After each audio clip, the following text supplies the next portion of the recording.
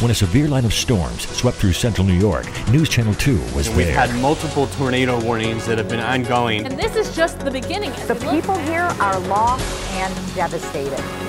News Channel 2's Pat Bailey is joining us now live on the phone. The back portion of the house, the roof is completely gone. You can see into the bedroom. The water is so high that the Shenango Bridge over Genesee Street closed off to traffic when right the weather turns bad, Central New York turns to the Storm Tracker 2 weather team.